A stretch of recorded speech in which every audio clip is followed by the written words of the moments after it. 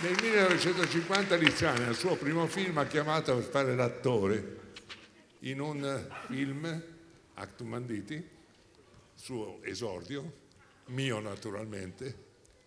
E io quando ero lì vedevo le luci, la macchina presa, allora la debris enorme, il carrello, ero con la bocca aperta e un macchinista mi fa, a montare, ti piace il cinema? Ah, ah Gesù e il cinema in crisi, sta in campana. Era, era al 1950, li abbiamo visti. Michaela Ramazzotti, assolutamente Michaela Ramazzotti affezionata a questo festival, tante volte sul palco premiata, a questo punto questa volta per La tenerezza come migliore attrice. Un film che parla d'amore, cosa ti ha lasciato?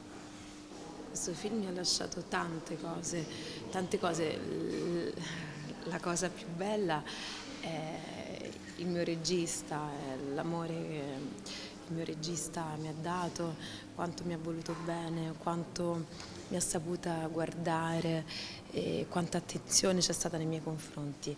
Abbiamo parlato della tenerezza, ma questi ragazzi che sono di là dalla telecamera sono degli studenti. Lei è stato anche professore del centro insomma, di, di, di sperimentale di cinematografia, ma la cosa più importante è un grande maestro. Il suo consiglio a questi ragazzi?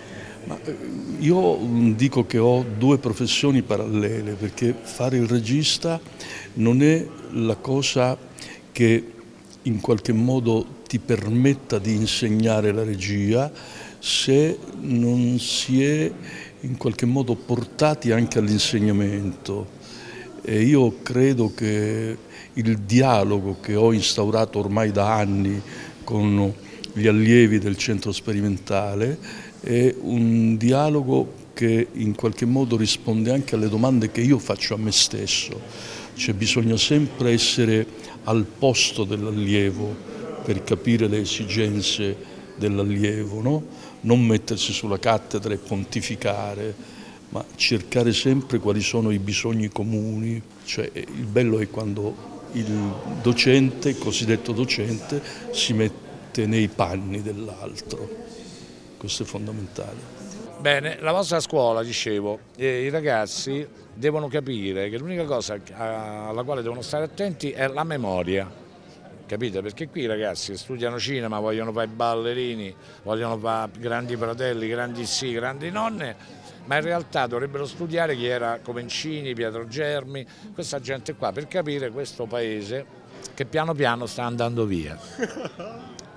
L'assessore Gigi Cavalli, nonché vice sindaco, prossimo no, Monnessaro da Monterotondo. Ah. Ci conoscono molto bene. Questo, ecco, no, se... no, veramente mi ha bocciato tre volte al quinto. Eh, vabbè, allora se è un'intervista seria, se dobbiamo stare a sentire che lui è stato bocciato tre volte, io non sono bocciato mai, perché ci sono proprio andato a scuola. No, non è vero. Grazie a tutti e viva l'Istituto Santo Santa Maria, e come no, e come no, certo. L'Istituto Santa Maria che sta giù alla discesa, no? Ci ho fatto un paio di ripetizioni in italiano. Sì, ricordo, infatti ero stato bocciato. No, scherzo, scherzo, scherzo, sono stato sempre promosso.